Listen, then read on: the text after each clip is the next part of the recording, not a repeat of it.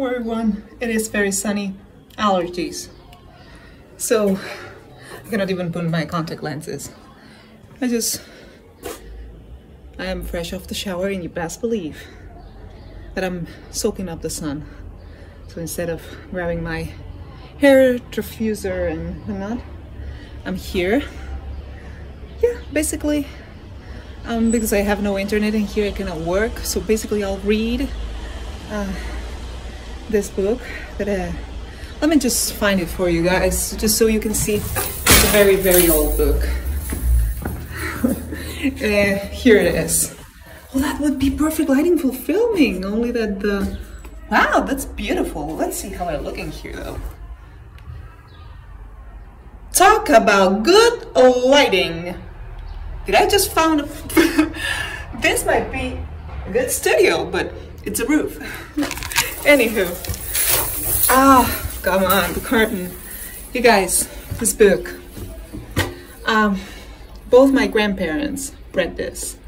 This is from one of them, and this is printed in 1941.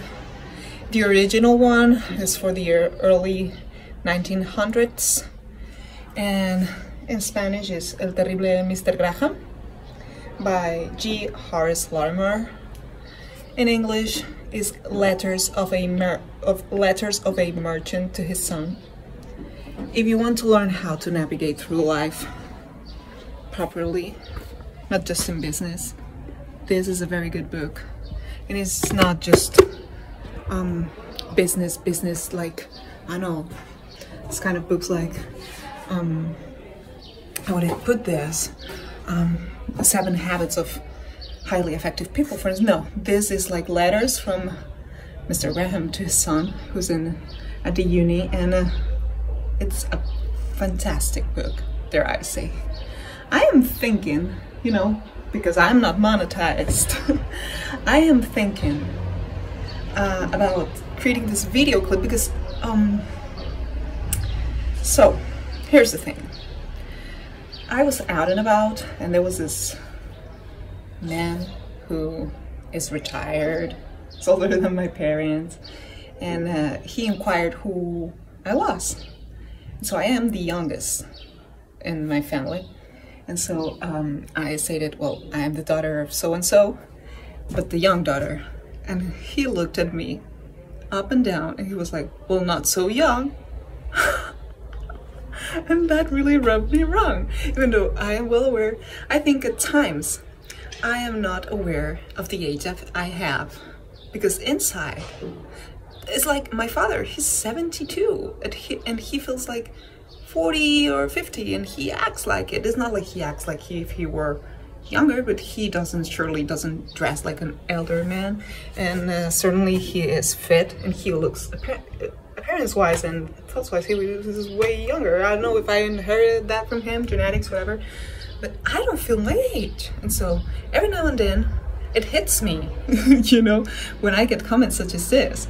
It was a long time ago, uh, back when I was 22, one girl, poor thing, she approached me, I bet she was 15, 14, 15.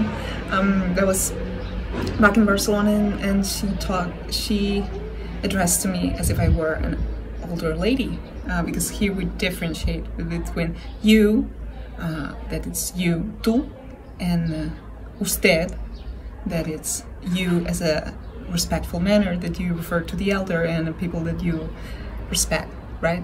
And so she came to me speaking like usted, and it was like, oh my god, you know, I'm not even 25 and I'm already with this usted kind of thing. But um, then you get to, you grow to accept that and everything. But then, um, with all this COVID stress and whatnot, um, along came a gray on my hair.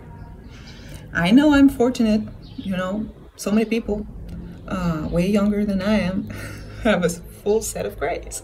Uh, like, I don't know, my brother-in-law, uh, when he was in his early 20s, when he was 24, he already had a full uh, gray hair, full head of whites, actually. And I don't know, it's genetics, you cannot pinpoint it or whatever. But I got a little bit of a crisis and after that and instead and the the, the grace and that older man telling me well not that young.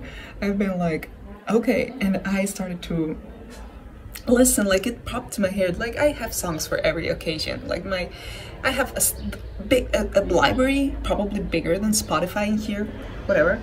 Um, and and so it popped in my head the, the theme song from a TV show from the 80s from BBC, The Young Ones.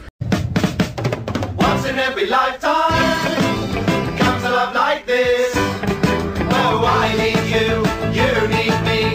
Oh, my darling, can't you see, young ones? And it's so good, it's such a good song, and it's such a good show. And needless to say, I wasn't old enough when that show was on air. But I have an older sister, so you best believe that she taped all the shows and she would watch them over and over. And there I was being super like this small, like to my knee or something like that, super young, and watching the young ones because that's what my older my sister would do and then when i was older i got to i, I came across back when i was my early 20s once again, I came across the DVD set of the entire series. And I purchased it and I rewatched it and it's hilarious. So what I wanted to say is that if you get the chance, I think like uh, British shows have a drier, darker sense of humor. And this is a sense of humor that suits me best as opposed to this other kind of humor. So it's like smart, uh, dark, sarcastic humor, kind of and it, it, I really do enjoy that. So if you're into that, that's all to say that if you're into that, I highly recommend that you try and find the young ones if you haven't seen it yet. And also, that is a bit darker, but it's also humor. The League of Gentlemen. You are in for quite some treat. I know, for instance, if Shannon, if you're watching this, uh, that you like darker books and whatnot, that's some very dark, dark humor. So, and all of you guys, if you get the chance to find it online, certainly it has to be somewhere. The League of Gentlemen. It has several seasons, I think at least two. And there's this dark, dark humorist, the, this group of humorists by, yeah, English humorists. And um, yeah, it's like they live in this small town and this is like even the shop owner like this is this local shop for local people. And whenever a foreigner enters the town they become so scared and they all become suspicious. And there are these freaks around town and even like the jobs the job seekers uh, teacher lady she's like she has all these quirks and there's it's it's very in, wow, and the butcher and even the prostitute it's so funny. It it's very dark. It's very dark humor. It's not for all audiences but if you're into that it's so funny. I highly recommend that. And the young i'm seeing an eagle. I wish i had a good camera right now so just so i could film it and show it to you because i if i just turn there you're gonna see nothing or maybe just a spot. But an eagle is flying around here. Probably she's hungry but you know ancient myth ancient mythology says that eagles are a good sign, a good omen, so I'll take it as a good thing. Anyway, as I was saying, back to the track, um, The Young Ones is a group of uh, a punk, an anarchist, a womanizer, a hippie, and I think that's it, uh, that live on a rented flat or a rented house, uh, semi-detached house. I was actually in London in the 80s and yeah they're they're roommates they're studying at the uni and they're very particular characters characters and they're so funny so quirky and to each every every single one you can you will find your the, the one that best suits you kind of. To me it's always been Vivian the punk one Vivian! Vivian! Vivian! Vivian!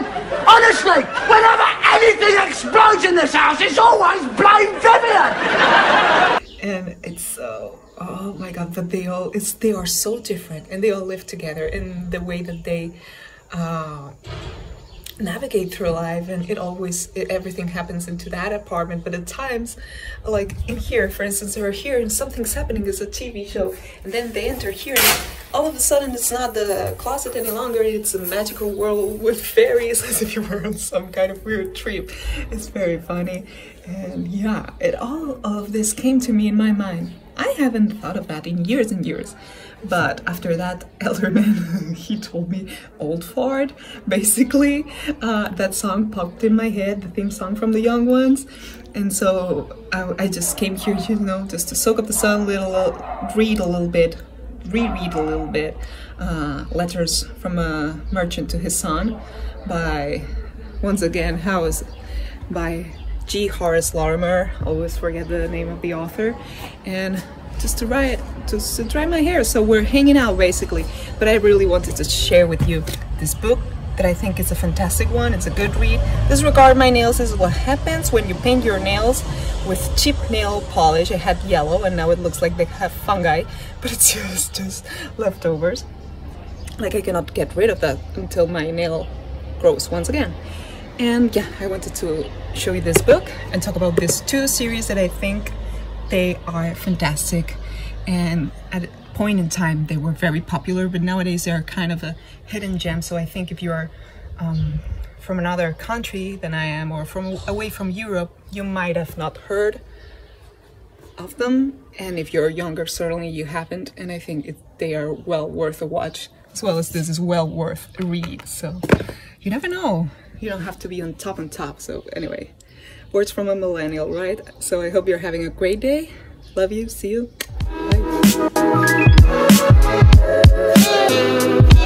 Bye.